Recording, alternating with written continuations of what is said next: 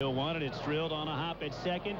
Nice play by Becker. Spinning and firing to first. Not in time. The lead runner into third. Sand stops a throwing behind him, and they cut him down. Manzella. 3-2 pitch. Grounded right side. That's going to get through the gaping hole. Here comes Sellers around third. He's trying. Locks throw. Be cut off. They have Velez at second. The throw is not in time. Velez came off the bag.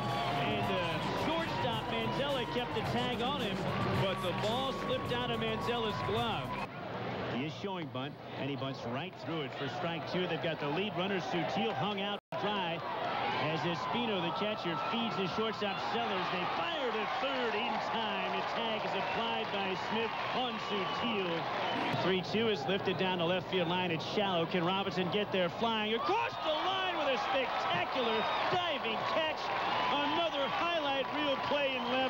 Trayvon Robinson. Scheduled for Albuquerque. If Sands is crushed to deep left center field. How far is this one going to go? Way back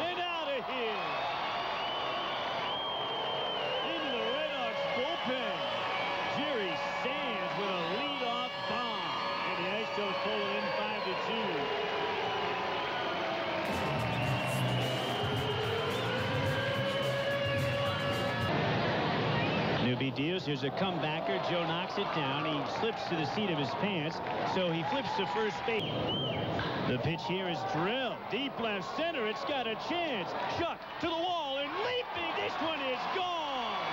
Into the RedHawks bullpen. Joe Becker with his first Isotopes home run.